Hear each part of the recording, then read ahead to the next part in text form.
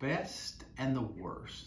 One of my favorite times during the week is on Sunday morning before we begin when Ricky Childers has kids sing with our kids.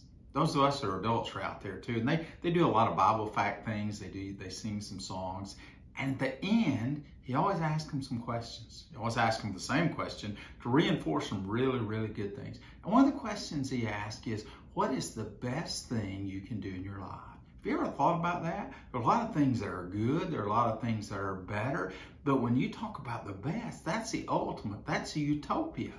And then he asks, what's the worst thing that you can do in your life? Wow, there's some bad things we can do. There's some worse things that we can do. But if you put the T on it, what is the worst thing that you can do in your life? They always get the answer right. The best thing that you can do and I can do in our lives is live our lives in such a way that we can go to heaven. The worst thing that we can do in our life is to live our life in such a way that we miss heaven. We miss relationship with Jesus. Doesn't matter what else good you do in your life. Doesn't matter what else bad you do. You see, when we talk about following Jesus, that's the best thing that we can do. If we're not following Jesus, that's the worst thing that we can do.